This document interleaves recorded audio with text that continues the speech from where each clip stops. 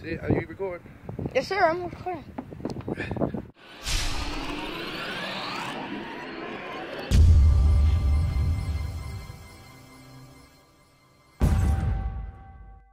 What's up, everyone?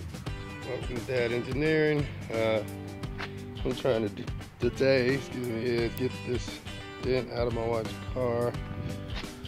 It's finally warm enough for me to try and fix it. I heard about the use boiling water and I also have a heat gun, so I'll try both methods. This is uh, uh Acura MDX. Okay, we got the scalded hot water. Pour it on there, see if this holds true.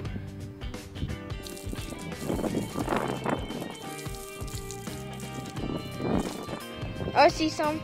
Yeah, I see it. I see it. You might need to go a little higher up there to get that big one right there. That's some hot water.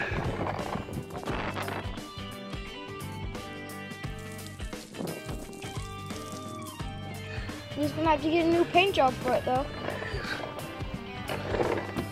So apparently, The hot water worked. I didn't have to use the heat gun. So now we're gonna try and sand this down and get this looking better.